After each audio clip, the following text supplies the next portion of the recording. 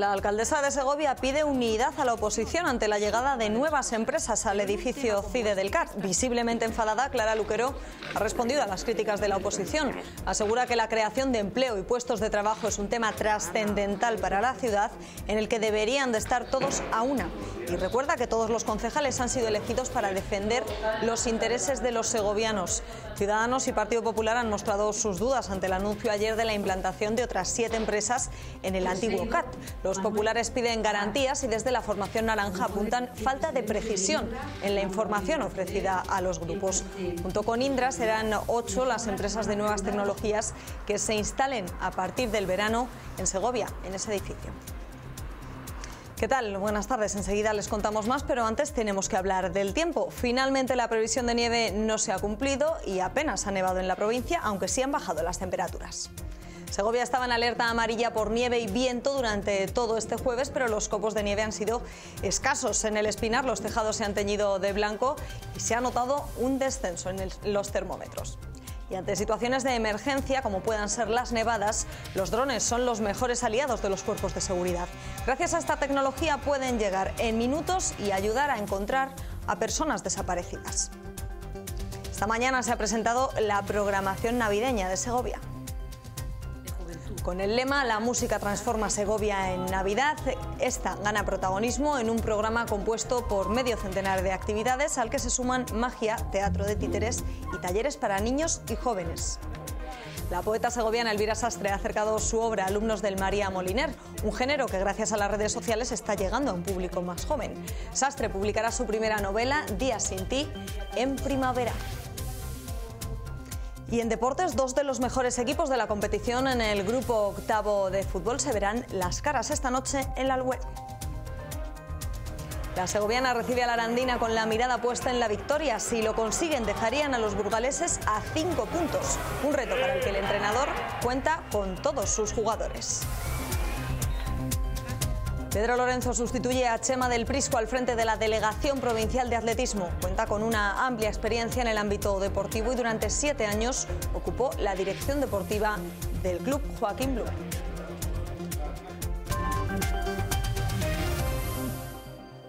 Tras el anuncio ayer de la instalación de siete empresas más en el edificio CIDE a partir del verano, las reacciones de la oposición no se han hecho esperar. Desde Ciudadanos denuncian la falta de precisión en la información ofrecida a los grupos. Aseguran que desconocen el número de empleos que se van a crear y que se presentan empresas sin datos firmes ni contratos acreditados. Recuerdan además que aún no hay un plan de gestión que determine los costes ni el reparto de espacios en este edificio y piden garantías. También lo hacen desde el Partido Popular. Críticas a las que la alcaldesa de Segovia, Clara Luquero, respondía así todos los concejales estamos representando a los segovianos, porque todos hemos salido de las urnas por igual, igual, es defender los intereses de la ciudad. Y en ciertas cosas que son determinantes para nuestro futuro, tenemos que apoyar. Que luego hay margen para la crítica en otros detalles, claro que lo hay, cada uno tiene su visión legítima de las cosas, pero en un tema como este, que es trascendental, tenemos que ir todos a una.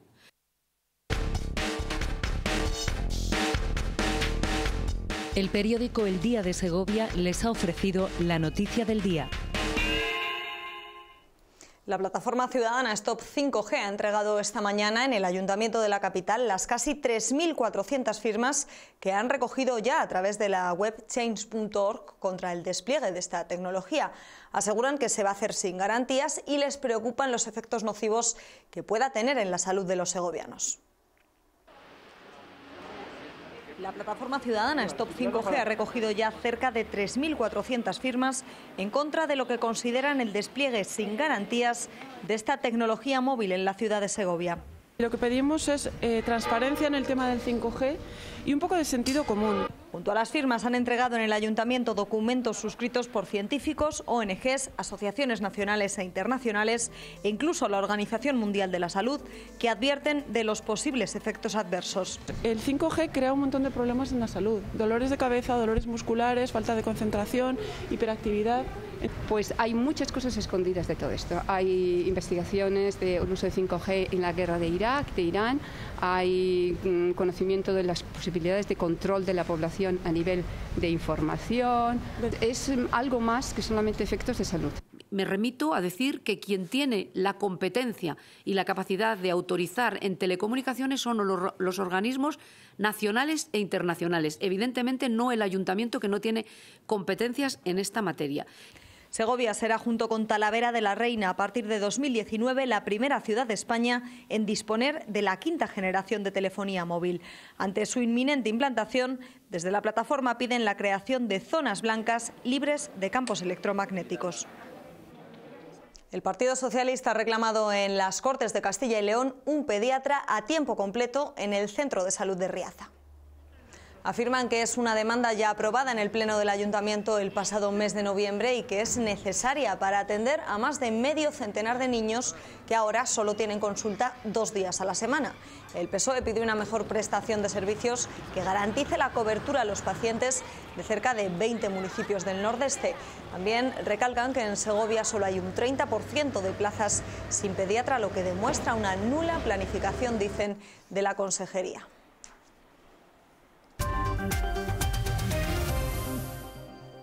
Se esperaba nieve y un fuerte descenso en las temperaturas, aunque en la nieve ha llegado, pero de forma muy escasa, especialmente en la sierra. Escasa incidencia de la nieve en Segovia, salvo en las zonas altas de la sierra, donde las precipitaciones se han registrado sobre todo entre las 3 y las 5 de la madrugada. A primera hora era algo complicado circular por las carreteras de montaña, pero ahora la situación es de normalidad. En Segovia capital ha llovido intensamente entre las 9 y las 10, con rachas de viento que han alcanzado los 96 kilómetros por hora. Las temperaturas mínimas no han bajado de un grado y medio y se mantiene la alerta amarilla por nieve y viento hasta la medianoche. Bueno, la carretera no está mal porque pasan las quitanieves y eso. Vamos, a primera hora sí que había un poco de nieve, había un centímetro o algo así. Bueno, relativamente bien. No estaba mal, pero hacía muy malo. Mucho viento y como granizo. Yo llevo aquí dos años que soy de la zona de Galicia y llevo pasando frío aquí. No, hombre, tendrá que para Navidad es cuando nos vendrá algo. Hace frío, pero se puede aguantar bien. 30 profesionales de cuerpos de seguridad han conocido de primera mano las posibilidades que ofrecen los drones a la hora de poder conseguir información valiosa ante situaciones de emergencia. La Diputación Provincial de Segovia plantea adquirir varias aeronaves para combatir incendios o colaborar en la gestión de rescates en montaña. Los drones pueden convertirse en el principal aliado de los cuerpos y fuerzas de seguridad en la gestión de la emergencia. Podríamos tener imágenes en uno, dos, tres minutos de, de respuesta. En este simulacro el objetivo era encontrar a una persona perdida en una zona boscosa en la localidad de Chañe. Esta aeronave ofrece imágenes a través de una cámara térmica y es posible detectar en minutos al desaparecido e incluso si el acceso fuese complicado, ofrecerle ayuda rápida al tener una velocidad de 54 kilómetros por hora. Hasta transportarle medicinas, transportarle a una víctima agua, comida, a una zona de difícil acceso, pues en una montaña, en un sitio donde, donde esta persona está aislada. Con posibilidad de realizar rescates acuáticos en montaña o en la gestión de incendios cualquier revisión de que haya que hacer una valoración técnica con el dron eh, se van a emplear, así como los incendios forestales nocturnos. Creemos que es lo que más utilidad nos va a dar porque durante el día tenemos los helicópteros. Y mejorando la gestión de medios a enviar al siniestro, su adquisición ayudará a dotar de más recursos a estos cuerpos de seguridad para una gestión eficiente ante posibles emergencias.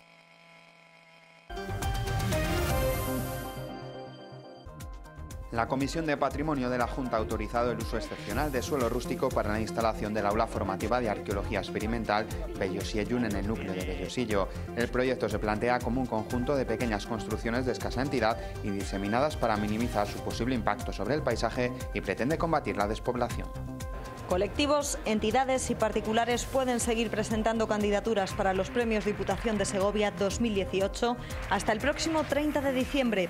De nuevo, hay siete premios y las candidaturas deben estar vinculadas a uno o varios municipios. El objetivo es reconocer la excelencia de iniciativas que ponen en valor la provincia.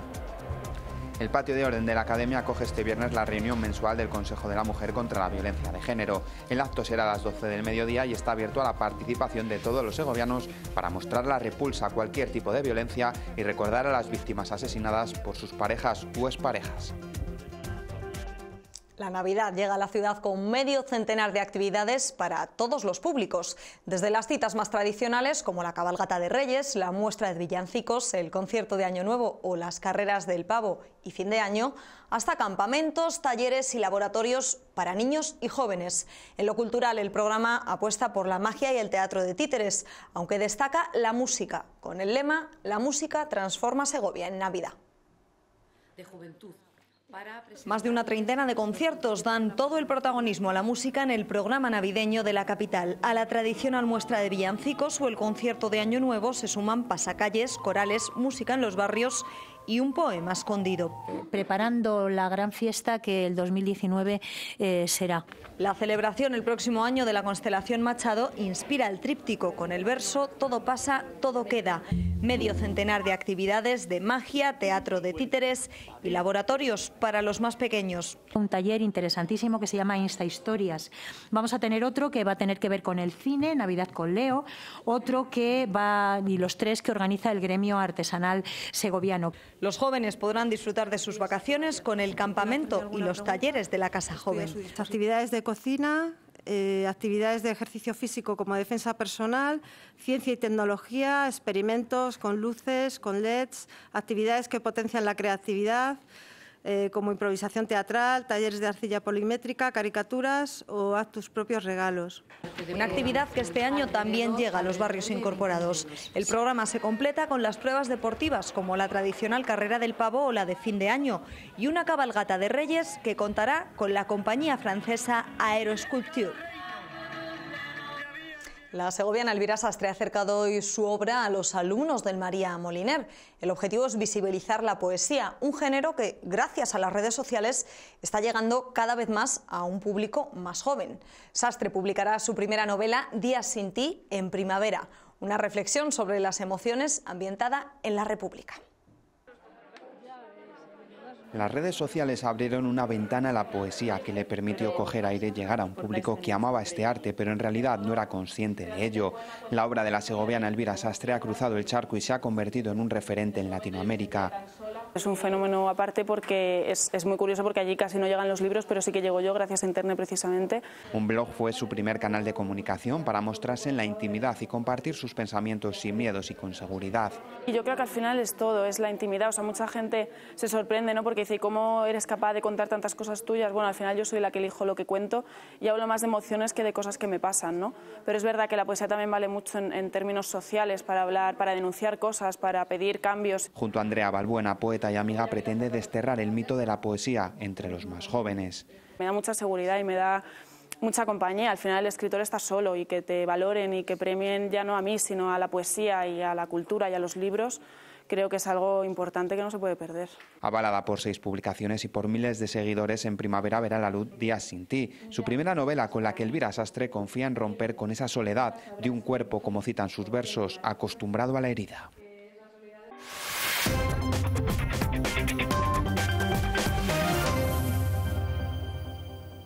Dos de los mejores equipos de la competición en el grupo octavo, Segoviana y Arandina, se verán las caras esta noche en la Albuera. Si el equipo azulgrana consigue la victoria, dejaría a los burgaleses a cinco puntos. El entrenador de la Segoviana tiene para ese reto a todos los jugadores a su disposición.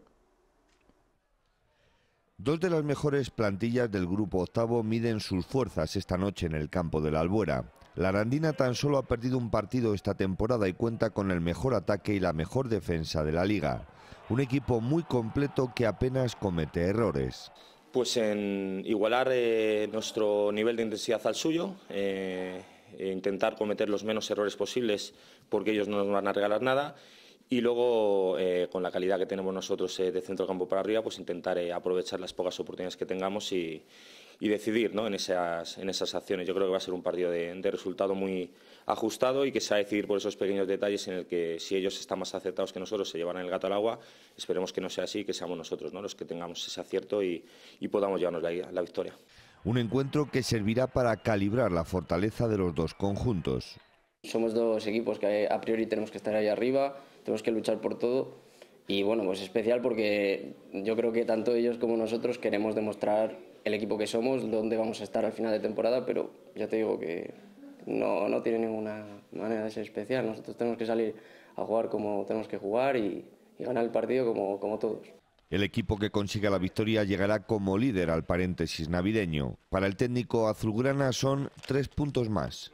Eh, hay que ganar todos los partidos, igual que sea el Arandina, el Zamora, eh, el Briviesca o, o el Bucosa. A mí, sinceramente, eh, y si fuese otra cosa te lo diría igual porque soy muy sincero y, y no le doy más importancia a la Arandina por ser la Arandina y por ser la situación de la tabla. Le doy importancia a los tres puntos que hay en juego, que son los que hay que ganar.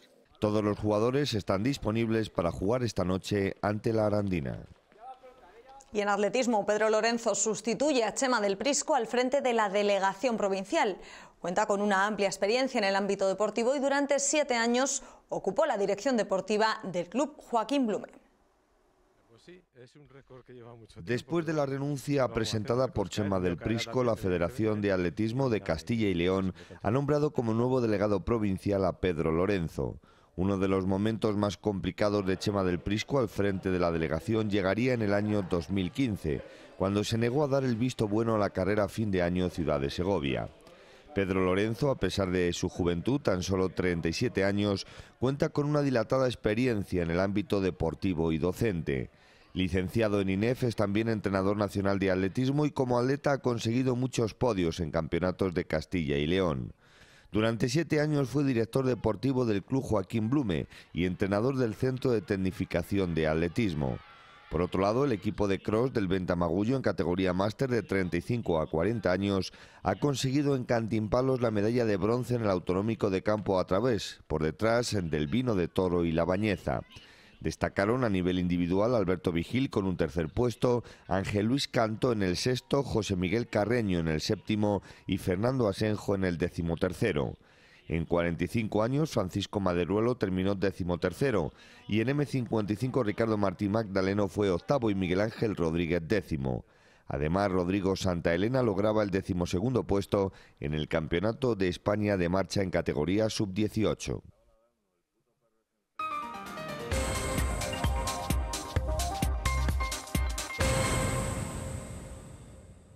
En el centenario de su fundación, la Filarmónica de Segovia ha querido rendir un homenaje a María de Pablos.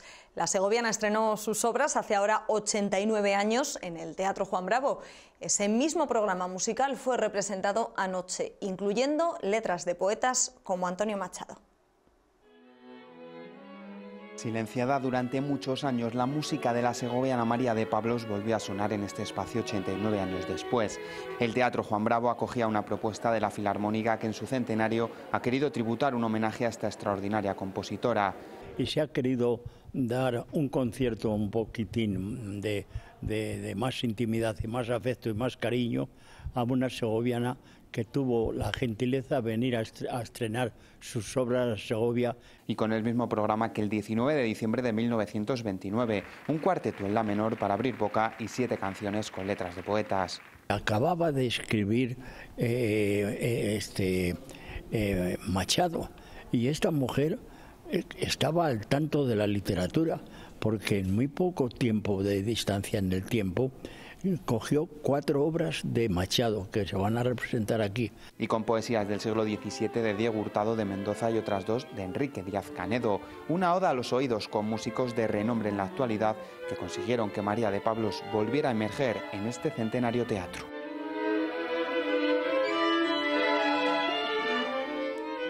Con música nos despedimos, se quedan ahora con la previsión meteorológica. La información regresa esta noche a las 9. Hasta entonces.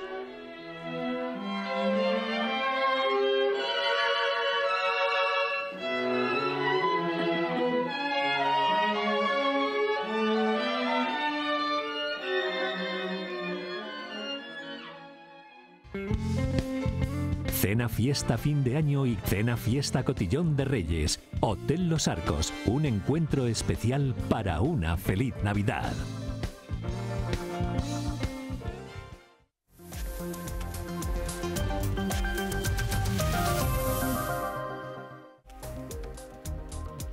Este viernes Segovia estará en alerta amarilla por vientos fuertes que podrían superar los 80 km por hora. En la zona del nordeste habrá heladas débiles más intensas en el sistema central. Cabe la posibilidad de chubascos débiles a primera hora de la mañana y un descenso de las temperaturas. Prácticamente en la totalidad de la provincia se registrarán temperaturas mínimas negativas de madrugada. En la zona norte cielos nubosos con un descenso más destacado de las máximas. Aquí las mínimas podrían alcanzar los 2 grados negativos. Según avanzamos hacia el resto de la provincia tendremos heladas débiles con vientos flojos variables. Las temperaturas oscilarán en torno a la barrera de los 5 o 6 grados y las mínimas serán negativas. En la zona centro y la campiña cielos con nubosidad y lluvias débiles y con una madrugada fría que se extenderá hasta el mediodía. En el sistema central temperaturas más bajas con heladas de madrugada y mínimas negativas entre 0 y menos 2 grados. Las máximas no superarán en todo el viernes los 5 grados, tampoco en los municipios del Alfoz de Segovia, con 4 grados en municipios como Fría. En la capital, idéntica situación al resto de la provincia, con las temperaturas más bajas en torno a los 6 grados y 0 de mínimas. También hay posibilidad de brumas matinales. El sábado continúa la tregua de precipitaciones y suben ligeramente las temperaturas hasta los 11 grados, aunque el domingo un nuevo anticiclón dejará precipitaciones débiles pero continuadas durante toda la jornada.